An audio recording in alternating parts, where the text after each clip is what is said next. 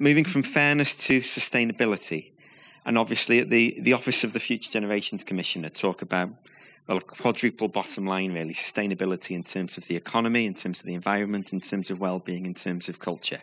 Okay. Could you unpack that a little for everyone in the room? Okay, so so in a, a, a very holistic approach, I've actually looked at these three concepts in in, in combination, and actually the, the underpinning of, of fairness, sustainability, voice is, is fundamentally democracy. Um, and I would argue that, that by involving people, representing people's concerns, values, um, interests in, in, in, what we do is fundamental to achieving sustainability. Um, I, would say that it, it's quite often the art and science of compromise, um, that actually what, what government might want to deliver, what people on the ground might want to receive or be involved with, are quite often two different things. Um, but creating that deliberative space somewhere in the middle to be able to say what is it that we can realistically do um, with, with, common interest um, to ensure human sustainability in the interest of, of providing a, fairer Wales that's, environmentally sustainable as well. Um, so, so particularly for me, it's about engaging with people in, in common purpose.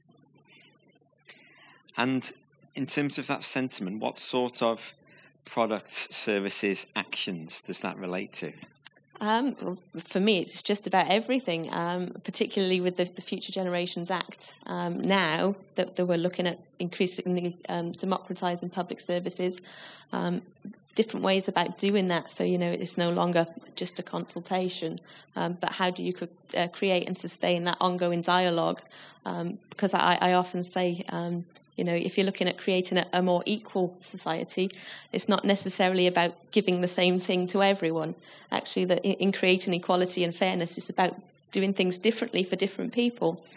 Uh, Caroline, if I may bring you into the discussion now. I, appreciate that there'll be many people in the room who are perhaps unfamiliar with Be the Spark and, and the agenda and the vision it, it pursues.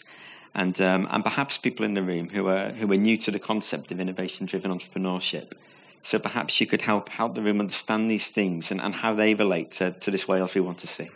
One thing that struck me is the common shared language and the common shared goals we have.